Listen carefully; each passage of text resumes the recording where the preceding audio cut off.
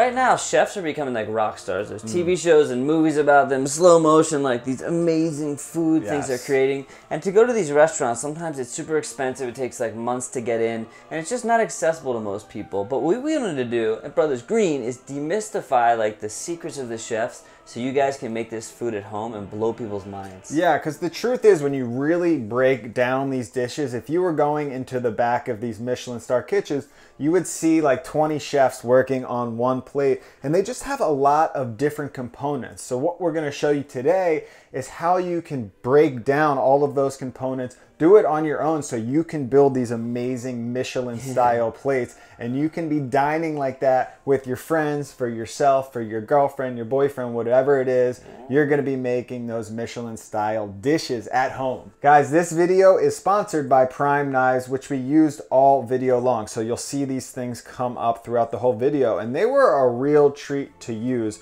Super sharp, of course, but the really cool thing about these knives is they have this ergonomic handle with a responsive touch technology. Check that out. And the grip actually conforms to your hand so you have maximum control when you are cutting things. maximum. They're also they got this black oxide design. They're stainless steel. They're super sharp and they're really easy to clean too, which is always a mm, bonus. Beautiful. And another awesome thing is Prime was nice enough to let us give away an entire set of these knives. A $350 set of knives is going to one of you out there, and all you have to do is sign up for our mailing list. Just click the link below in the description. Sign up. This is worldwide. We are going to ship one set anywhere in the world, These and you guys will be cutting with these beautiful knives. But let's get into the video. Sous vide. Oh, now it sounds vide. fancy in French, but it's actually one of the techniques that you probably don't realize the chefs are using. You're basically cooking something in a water bath and keeping it at perfect temperature. So there's lots of fancy machines that will do this for you, but we figured out a cool hack way that's Mm. very simple, very easy. The whole idea is that you're keeping the water at a specific temperature. So say you want your steak to be 135 degrees. You cook it in a water bath at 135 for you know an hour, two, three hours. When it comes out, it's medium rare. All you have to do is sear it up after. It's amazing. We took our steak, salt and pepper, throw it in a plastic bag, add a little bit of oil. Now put it in a bath of water, and you'll see the air is going to be sucking itself out. And when you get it down far enough, you just close it up, and it's kind of vacuum sealed. It's like a vacuum seal, guess Yeah. you could call it. A vacuum Vacuum seal. Now we bring our water up to 135 degrees. You need a thermometer, you know, unless you can just figure it out with your finger, which would be impressive. And then you just drop the steak in there. We also throw in some duck, because why the hell not? The duck that we had actually came vacuum sealed because it was pre-frozen. So that we didn't actually have to do a vacuum sealing technique. We just threw that right into the water bath. And you know, for the next hour, we're cooking this, just monitoring the temperature. If you kind of cover it, keep the heat low, you're doing your thing, and then when it comes out, you have this steak that is perfectly cooked. If you mm-hmm. want to stop the temperature, you can throw it in ice water, but we're not going to do that. We're just going to pat it dry. We're going to heat up a pan, mm. and then we're going to sear it with some butter and oil. And you sear it on both sides and do like the basting technique where you kind of tilt the pan, take that oil butter. It's always good to oh, throw in some herbs too to flavor that oil.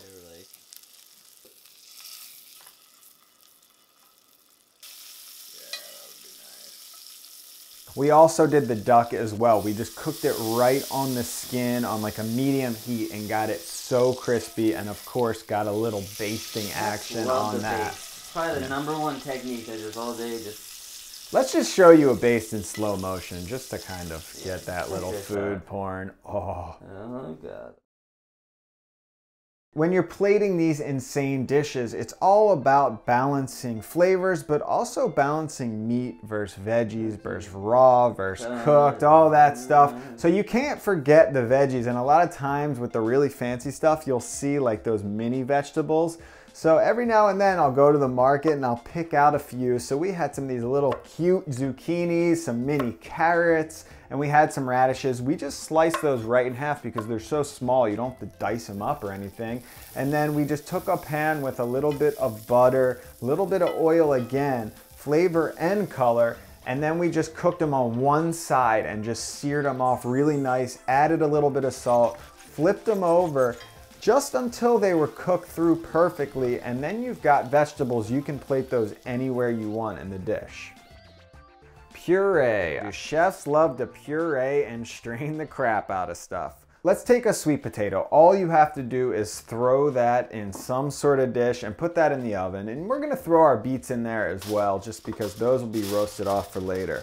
You bake that on high heat for a while, for about an hour, and what's gonna happen is that skin is just gonna peel away all nicely, and now you've got this beautiful, silky, smooth sweet potato on the inside. You're gonna scoop out that sweet potato, throw it in some sort of blender, Add a little bit of cream just for that extra silkiness and blend that up until it's smooth. Don't forget your salt. Don't forget your salt. The potatoes need the salt. But the thing is, when you blend that up, that's not smooth enough for the chef world. You got to take that to another game changing strain job. So you put that through a strainer, and that's when it gets a like mesh strainer. a mesh strainer, extra silky smooth. They've got special equipment in actual kitchens to get it, Chinois whatever, some French bullshit. They'll do it like three times. But you know, an actual mesh strainer will work great. Those things were so delicious, and it was two ingredients. It was amazing. Yeah, and then you can do that thing on the plate where you kind of throw it down and swoop it. It's just a perfect puree to put anything on top of that. Fluid gel. Now this Whoa. is something you see a lot of chefs will use in like the molecular gastronomy world, but you're basically making a gel or like a jelly out of something. Mm. This is the only molecular thing we did. Correct? Yeah, Sous vide is kind yeah, of. it's, it's, it's kind of debatable. Yeah. So if you've seen on like those nice fancy plates, they have these like really cool round like gel circles. We're gonna show you guys a hack way to kind of do that. For this segment, we actually did two things. We're doing mm. this fluid gel, but we juiced the beets first, and Mike just didn't get enough beets, unfortunately, so I had to juice a grapefruit. and at the top, you'll see there's all this foam, and mm. that's actually a really cool trick within itself. You can scoop the foam up, and foam on dishes, like, I mean, chefs cannot get enough of the foam. It's like going out of style, but it's still in style somehow. Never really understood the foam. The fo- It's very, it's like there's different ways to It's do it. texture. You can blend it up. Wow. You can add soy lecithin. That's another way to get, like, uh, kind of foam. You can foam soy But sauce. But the juicing is like the ultimate hack to get the, the quick foam. Just some foam on there, and- we actually, unfortunately, for our plated dish, we waited too long, so we had to freeze it, and the whole it turned into a whole mess. But if you have it fresh, it's awesome. So once you take that juice, we're gonna heat the juice up in a pan. I added some sugar, I added a little bit of chili sauce, some salt, just kind of make it taste good, right? So at this point, you could add some gelatin. You can find unflavored gelatin, but we're actually using agar agar, which is a natural seaweed gelatin. So it's vegan. It's not made of uh, like horse hoofs or whatever the hell it is. um, so we pour that in, we mix it together, and what happens is when you bring it to a boil and then you let it cool, it turns into this gel. So that's exactly what we did. Bring it to a boil, pour it into a pan, let it cool, and once it's cooled, it's this gel. And at this point, you can do lots of different things with this gel. We cut it in half, took some out. For one side, we diced them up and we made these little gel cubes. These like sort of spicy beet gel cubes, and they're a really cool way just for like plating. People are kind of confused, like, what the hell is this? Look Really nice super cool. texture as well. You pop one of those cubes in your mouth. Yeah, they're like they're a little bit chewy, they're like tender. It's like a gummy bear, but Yeah, it's very true. like a gummy- if you had gummy bear molds, pour it in Yeah. We took the other side and we blended it up with some water. And what happens when you blend up the gel, it kind of smooths out, but it keeps that consistency. You put it in a zip bottle, and then on your plate, you can make these like little circles. That's can when you see all it. of those beautiful little gel dots. That's where it comes from. What's it called? The technique? Uh, it's called fluid gel. Think Fluid. about it. They got to think of a better fluid, name yeah. than fluid gel. Fluid gel. It sounds like something your dentist would offer. What flavor would you like your fluid gel? Beet- Can I have the beet fluid gel, please? There's so many different techniques when it comes to plating, and one of the greatest, of course, is frying things because you've got that crispy texture. If you add crispy to anything, it's gonna just amp it up to another level, of course. So what we are gonna do is take some sunchokes, and you could take anything that will fry. Potatoes work great, but sunchokes are just like a little fancier in the culinary world. They are delicious, and we just slice them super thin, just like that, really Knife nice and thin. Slips right through. And then we took them and just dunked them in some oil at about 350 degrees until they were nice and crispy. Then you've got these beautiful sunchoke chips, and those are gonna be huge when it comes to plating because when you've got like a soft puree, you throw a sunchoke on there with a little bit of meat and that crunch, perfection. Remember those roasted beets, my friends? Well, we are going to turn them into some beet tartare. And those were actually golden beets. So what hmm. we did was we peeled them once they're roasted. You know, you're roasting in the oven at like 425, 450, just until they're fork tender, and then you can just peel the freaking skin off. Yes. At this point, I'm just dicing them and chopping them up super fine because this is like a play on a tartare, where a tartare would be meat that's finely minced up. We're mincing up the beets. Raw meat, that is. Raw meat, Yes. exactly. So we're mincing up cooked beets to kind of mimic that. And it has a similar texture, but the flavor is totally different, which Yeah, is great. exactly. So we, we mince this all the way up. So one of the one of the cool things about um, this beet tartare, chefs do this a lot, is they will take a ring mold, which is like a cookie cutter, and they'll kind of put it on the plate and add stuff to it. And then when they pull it away, you have that perfect circle. If you're ever wondering how they get that, it's like, oh my god, they did this. And then a lot of times with tartars, what you'll see is a nice raw egg yolk on top. But this is the culinary chef world, so we are gonna go a little molecular with it. And one really cool technique is taking an egg yolk and just dumping that in salt, letting it cure in salt. salt cured. And Josh was like, it takes four days. We did it for three hours and it had a really nice cure on the outside of it. We did it for like an hour. It's actually awesome. The outside gets nice and chewy, almost like it's cooked like a little jelly around the outside. Mm. Take it out of the salt gently and sort of very gently wash it off. Wash all the salt off. And that will be perfect for our beet tartare. Another huge craze in the chef world is powders. So there's this thing called maltodextrin, which you can Mm. actually mix with certain fats like olive oil and bacon and turn it into a powder, which is super crazy. You Yeah. can buy that online. I use it sometimes. It's just a really cool trick. But another trick to get powder is to take something that's already crispy. Like we use these snap pea chips, right? Anything dehydrated, Yeah, really. like dehydrated, and we basically just blended them up. We use a spice grinder. You can smash them with your hand, Mm. and then you have this really cool powder. And you'll see when it goes on a dish, it adds this like light sort of pop that makes things seem so much more expensive. Again, than they you're, are. it's just a beautiful way to add more textures, balance out different flavors, different textures. It's it's a great technique. yeah. Probably the biggest element that really sets these chefs apart from you, you know your standard home cook is good knife skills and sharp knives, of course. Luckily, we had the prime knives. These things are nice and sharp, but it's all about getting those fine cuts. So if you're cutting chives, you want them nice and small so they look super beautiful when they are sprinkled on top. Or if you're cutting through your meat, you want those beautiful. You don't want like a hacked up piece of. squeeze the juices out of it. No, it's a beautiful sushi-like cut, just straight through that. Same with like raw vegetables. Slice up those beets. You can get them raised or thin. Of course, you can use a mandolin, but if you don't have a mandolin, you just get a nice, good knife and And just take your time out there. Make sure you've got a nice sharp knife, and you'll be making those chef-like cuts at home.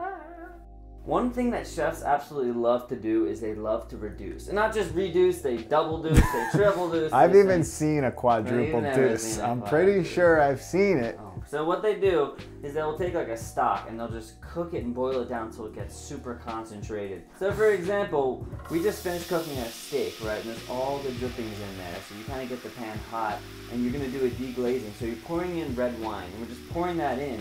And then we're gonna let that reduce for a while. What's gonna happen is the wine, the sugars in the wine, everything's gonna kind of cook down slowly and turn into this amazing glaze. One of the first sauces I've ever made. I've been making it You ever since. it. It's I used to make that for you when I was in college. God damn it, never giving me credit. Yeah, so you're basically cooking this reduction down until it gets super concentrated, and then at that point, if you want, you could strain it because chefs love straining. There's a lot of things. You could add butter to make it a little silkier, cream. Definitely make sure the salt levels are good, but that is your basic reduction wine sauce right there. You can kind of sprinkle it on the plate, and it looks all mm. cool. The thicker it is, the more syrupy it will get.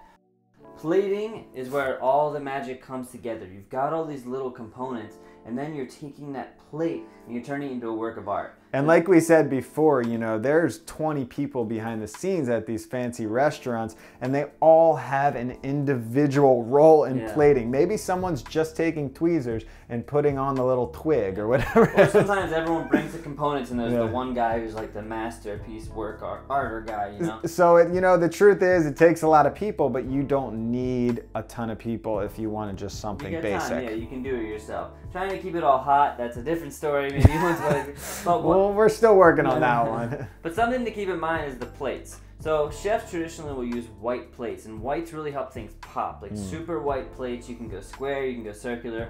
But actually, I got this slate black plates. I think like this slate black just looks freaking awesome. The Mm. It's a little more colors go. organic. You're seeing more of that in the chef game Yeah, because like the the white is more of the classical like French way, but you're seeing some really cool flavors of plates coming in action. Yeah, and here's the thing about the plate. Once you have all your components, imagine you're an artist and these are all your paints, right? Or you're a sculptor and these are all your tools. Then you're getting to create this masterpiece, and that's where the fun really happens. And when you're plating, if you mess something up, it's cool. You can like kind of erase it and start over again. That's a good way to explain it. Just erase, Erase? paper towel erase. But there you go. That was honestly amazing to experience that at home. It really did taste Michelin star esque. It was amazing just kind of combining all those flavors, making your own little bites. It was a little difficult to get the temperatures right. I think, yeah, with the filming and maybe a few more And men chefs, in the kitchen. Mm. chefs will like keep their plates hot, you know, and then when you put it on, and We're like, still learning. We're, We're still, learning, but it was a good some- element. These are some really great secrets to help you guys. And, and listen, regardless of how many you know nice, fancy things you have, like for example, the steak. If you can't afford steak, that's cool because a lot of these restaurants you get like one slice of steak, so you can buy an expensive steak, serve it to four people, everyone gets a slice. And also, like, if you don't have these ingredients, just have fun. Like, you could use Doritos and That's you know, true. you could use all kinds of stuff. You could bash up Doritos. That could be your powder. Like, very the sky true. is not even the limit. And thank you to Prime Knives for sponsoring this video. And remember, one of you out there is gonna win a full set. So just hit the description box below and click that link. And we're gonna be sending out a lot of cool stuff, more competitions on that mailing list, recipes, videos. So just good stuff to come on that. Get in the kitchen, keep cooking, and get fancy with it.